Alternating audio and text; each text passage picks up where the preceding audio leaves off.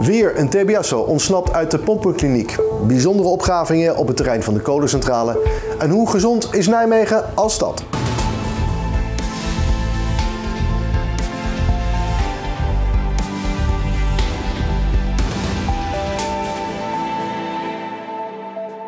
Woensdag ontsnapte er opnieuw een TBS'er uit de Nijmeegse pompenkliniek. Hij zou tijdens een begeleid verlof bij iemand in de auto zijn gestapt en zo zijn gevlucht. Ik sprak hierover met onze verslaggever Joyce Dijkstra in de uitzending van donderdag.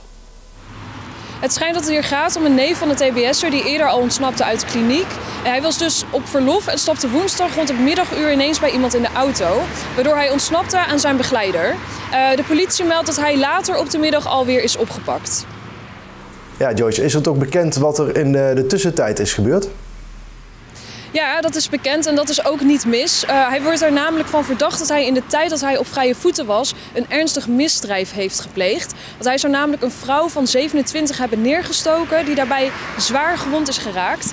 Uh, dat gebeurde in de omgeving van Soest en uh, de man is vervolgens in Bergensenhoek weer opgepakt. Dat ligt ergens boven Rotterdam.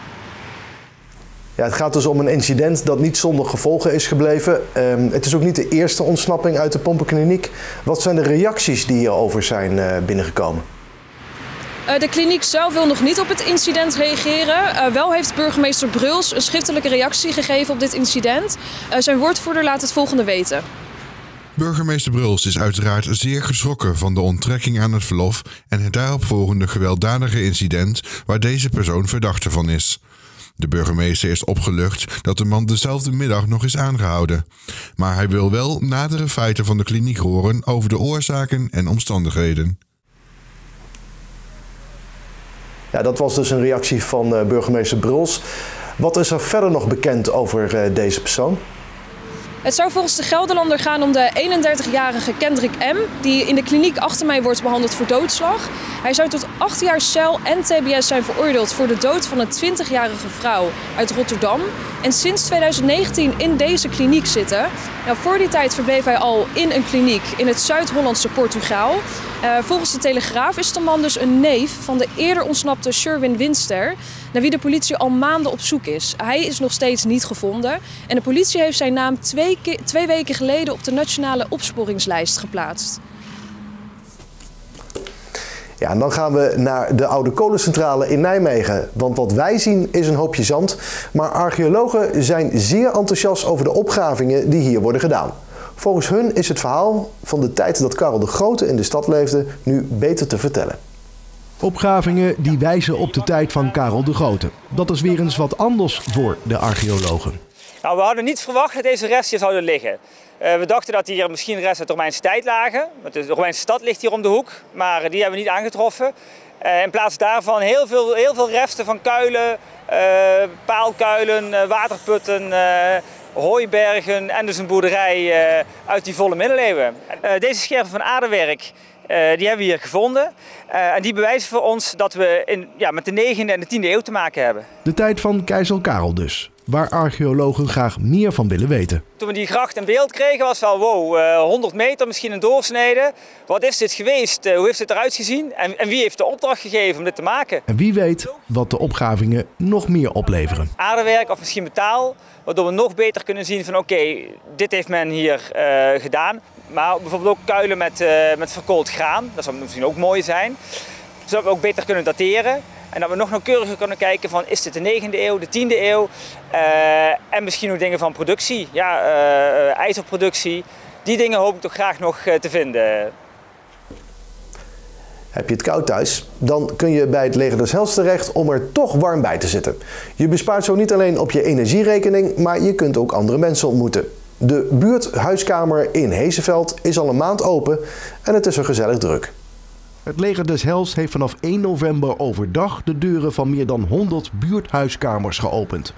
Dit doen ze om mensen te helpen die willen besparen op hun energiekosten. We zijn de actie gestart met warme kamers, omdat veel mensen de verwarming heel erg laag hebben staan. Dan zit je heel de dag in de kou. Nou, dat is vervelend. Uh, en het is ook gewoon eenzaam. De stijgende energierekening uh, en de stijgende algemene kosten is heel erg vaak uh, gesprek van de dag. Dus mensen moeten dingen laten, mensen moeten de verwarming lager zetten of ja, moeten truien kopen of zitten vaker onder dekentjes. maar we zien ook vaker mensen die gewoon niet zoveel te besteden hebben. En dat merk je vooral hier bij de kassa, dat ze twee truitjes willen kopen. En dat kost eigenlijk niet zoveel geld misschien, maar ze er toch niet allebei kunnen betalen. dus zit hem in de kleine dingen, maar dat is wat we terugzien. Er waren best veel bezoekers in de huiskamer, maar die wilden helaas niet op camera. Gelukkig wilden de vrijwilligers die als gastheren en gastvrouwen optreden dat wel. is het zo dat deze huiskamer ook open is voor mensen die moeite hebben met de energierekening te betalen? Wat merk jij daarvan? Nou kijk, weet je wat het is? Als mensen last hebben van uh, in het algemeen financiële problemen, dat is iets, niet iets wat mensen graag aan de grote klok hangen. Maar ik weet dat uh, veel mensen dus thuis uh, de verwarming uit laten staan en, uh, en dan iets vaker hier zitten. Ja, dus het is ja. ook fijn dat de mensen die de verwarming thuis moeten laten uitstaan, weten dat ze hier welkom zijn. We zijn minstens vijf dagen per week open, maandag tot en met vrijdag. Dus. En de energiekosten thuis, hoe gaat het daarmee? Hoe, wat bedoelt u? Nou, de rekening voor de verwarming en elektriciteit? Nee, dat valt mee. Ja? Heeft u niet zo'n grote verhoging gekregen? Nee, 100, ja, 110. Vind ik best veel geld. Ja, dat is ook, maar ja, kun je niks aan doen, hè? Nee, maar lukt het om dat nog allemaal te betalen? Ja, wel. Oké, dat is fijn om te horen. Maar, uh, bij ons zijn we nu vijf dagen per week geopend. Dus ja, dat is wel echt heel erg fijn en bijzonder. Uh, en de koffie en thee is dus gratis. En we hebben er ook nog een koekje bij. Dus het is gewoon heel erg fijn om hier over de drempel te stappen. En we hebben de krant, je kan een puzzel maken. Dus als je niet wil kletsen, ga je op de bank zitten. Dus zeg maar, je hoeft niks, maar je bent vooral heel erg welkom om het niet alleen te doen. Een grote brand in Nijmegen. Deelscooters veroorzaken overlast en een dubbele autobrand in Lindenholt. Kijk mee naar de week van dag tot dag. Het was maandag Cyber Monday, het online antwoord op Black Friday. Net als Black Friday betekent dat hoge kortingen. In dit geval in de webwinkels. Maar niet voor de winkel Dille en Camille. Zij hielden de deuren gesloten en het personeel deed vrijwilligerswerk in de natuur. Ze zagen daar bomen om om de heide de ruimte te geven. Op het industrieterrein van Nijmegen was dinsdagmiddag een zeer grote brand uitgebroken. De zwarte rookwolken waren tot in de wijde omgeving zichtbaar. Even na twee uur werden de hulpdiensten opgeroepen voor een brand aan de Beurtvaartweg. Volgens een videocorrespondent te plaatsen mocht een eerste bluspoging niet baten en breidde de brand zich uit. De brand woedde bij een autogarage. Het Nijmees College stelt aan de gemeenteraad voor om vanaf 1 januari 2028 snorfietsen, brommers en scooters met de verbrandingsmotor niet meer toe te staan binnen de bebouwde kom in Nijmegen en Lent. De gemeenteraad zelf riep het college ertoe op om dit voor 2030 te regelen. Vanaf 2025 zijn dezelfde voertuigen van voor 2011 al niet meer toegestaan in de binnenstad, Hof van Holland en op de campus Heijendaal. Dit zijn ook de zones die vanaf 2025 zero-emissiezones zijn voor stadslogistiek. Alleen uitstootvrije bestel- en vrachtwagens mogen er dan nog rijden. Het begint inmiddels een landelijk probleem te worden. En ook in Nijmegen heeft men er last van. Deelscooters die na gebruik gewoon langs de weg worden achtergelaten. Omdat dit zo massaal gebeurt en ze vaak op plekken terechtkomen waar ze niet snel worden gevonden, veroorzaakt dit overlast. Ook worden ze vaak verkeerd gestald, waardoor overig verkeer er last van heeft. De Tweede Kamer kijkt inmiddels naar mogelijke regelgeving rondom de voertuigen. De brandweer is vrijdagnacht uitgerukt voor een brand op de parkeerplaats van voetbalclub SCE. Dat is op de Meeuwse Akker in de Nijmeegse wijk Lindenholt. Buurbewoners waarschuwden de brandweer voor twee auto's die naast elkaar geparkeerd stonden. Beide auto's waren na de brand totaal los. Onder andere de motorblokken van beide auto's stonden in vuur en vlam. De brandweer heeft in de omgeving gezocht naar een eventuele oorzaak, zoals brandstichting. Dit wordt niet uitgesloten, maar er is geen bewijs voor gevonden. Nijmegen is de vierde gezondste stad van Nederland. Dat blijkt uit de vorige week gepubliceerde Gezonde Stadindex van Acradis. Acradis vergeleek 25 Nederlandse steden onder meer op het gebied van mobiliteit, bebouwing en milieu. Hoewel Nijmegen vrij hoog op de lijst staat, is de stad ten opzichte van vorig jaar toch twee plekken gezakt. Wat moet Nijmegen doen om volgend jaar weer tweede of zelfs de gezondste stad van Nederland te worden? Een gezonde stad is een stad waar uh, het prettig is om in te wonen, waar een goede luchtkwaliteit is en uh, waar heel veel groen is, mensen uh, goed naar buiten kunnen en waar ook de bereikbaarheid van voorzieningen voldoende dichtbij is voor mensen om goed te kunnen wonen. Wat moet Nijmegen doen om volgend jaar op plek 1 te staan? Nou, dat betekent dat Nijmegen zou moeten investeren in een gezond milieu. En waar ze ook aandacht aan moeten hebben is voor het groen in de stad. Uh, je ziet dat het gebruiksgroen, dus waar mensen kunnen verblijven en ook iets kunnen doen, dat dat bij Nijmegen uh, wat minder is dan in andere steden. Nijmegen heeft de afgelopen jaren al flink geïnvesteerd op het gebied van groen. Zo vindt deze beleidsadviseur. Uh, Nijmegen doet heel veel dingen om, om te vergroenen. zo is het bomenplan afgelopen jaar vastgesteld, waarbij elk jaar duizend bomen aan de stad wordt toegevoegd. Daarmee wordt de stad een stuk groener.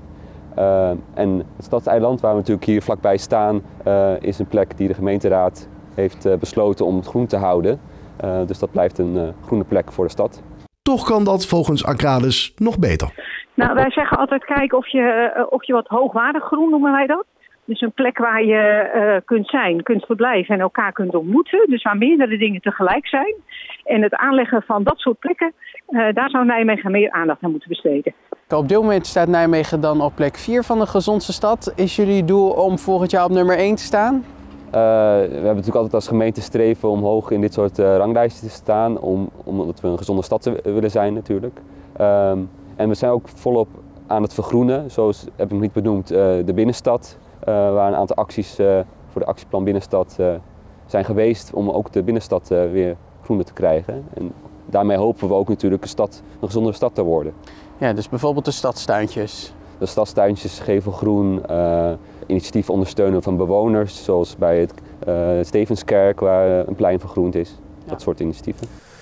Supermarkt Jumbo in Zetten is woensdagochtend heropend. De winkel heeft de afgelopen drie weken een flinke verbouwing ondergaan en is daarbij ook aanzienlijk groter geworden. Hiermee is de supermarkt aan het Julianaplein direct een eyecatcher in het centrum van Zetten geworden. 5, 4, 4 3, 2, 1. Het confetti-kanon liet het helaas even afweten, dus daar helpen wij dan graag een handje bij. Los daarvan was de heropening weer een feestelijke aangelegenheid die het nodige publiek trok. De vorige verbouwing is alweer 10 jaar geleden, toen de winkel transformeerde van een C1000-filiaal naar Jumbo. Dit keer blijft het een Jumbo, maar werd het pand wel 30% groter. Een wens van de eigenaar, waarvan de plannen al een tijdje klaar lagen. Um, dat is eigenlijk een aantal uh, jaar geleden. Toen wij uh, hier stond, op, en waar we nu staan, in de Groente Fruitsteen, stond eigenlijk een woonhuis. Die hebben we aan kunnen kopen en die hebben we bij de winkel kunnen betrekken. En op die manier uh, hebben we een uitbreiding kunnen realiseren. Wat zijn nu de grootste verschillen met voor de verbouwing en nu na de verbouwing? We hebben een winkel die eigenlijk de nieuwste formaat van Jumbo heeft. We hebben bijvoorbeeld een zelfscanpark. We hebben een veel uitgebreider assortiment. Dat is wel een, een derde keer zo groot geworden. We hebben een, een, mooie koffiehoek kunnen realiseren. En, wat, wat, en de winkel is wat ruimer opgezet. Dus ze hoeven niet meer zo langs elkaar heen te kunnen. Nou, door de ruime paden kunnen ze wel hun weg gaan, zeg maar. Ja, geweldig. Het ziet er keurig uit en we hebben er ontzettend hard aan gewerkt om het op, moment, op tijd klaar te krijgen. We zijn er heel erg super blij mee. Ik, ik werk hier al 25 jaar en dit is mijn vierde verbouwing. En ja, dit is echt wel, ja, ik denk voor zetten hier is dit wel heel erg extreem mooi. Super, echt heel erg goed. Voor zo'n klein dorp, ja, dat is echt geweldig. In het voorjaar werd dit woonhuis aan het Julianaplein gesloopt. Het was het laatste huis tussen alle bedrijven in het centrum en daarmee ook een adres dat bij veel ondernemers op het verlanglijstje stond. De vaste klanten zijn er maar wat blij mee dat het nu onderdeel is geworden van hun lokale supermarkt. We zijn heel blij dat hij weer open is. Fantastisch mooie winkel. Ja. Ziet er prachtig uit. We hebben hem gemist. dus we zijn blij dat hij weer open is na drie weken. Denkt u dat hij niet uh, iets te groot is voor een dorpje als Zetten? Nee, geloof ik niet. Nee? Nee, nee. nee. Het is een mooie winkel. Ze hebben alles. Nou, wat wil je nog meer? U heeft ook een filiaal in Heter, als ik het goed begrijp. Zijn daar ook nog uitbreidingsplannen voor? Op dit moment niet, maar er zit volgend jaar wel een, eh, een, eh, een kleine verbouwing misschien aan te komen. Op dit moment we hebben we wel de elektronische schaplabels die we hier hebben. Die hebben we ook eh, vorige week in, in Heteren geïnstalleerd. Dus we hebben wel iets gedaan, maar voorlopig blijft het daarbij.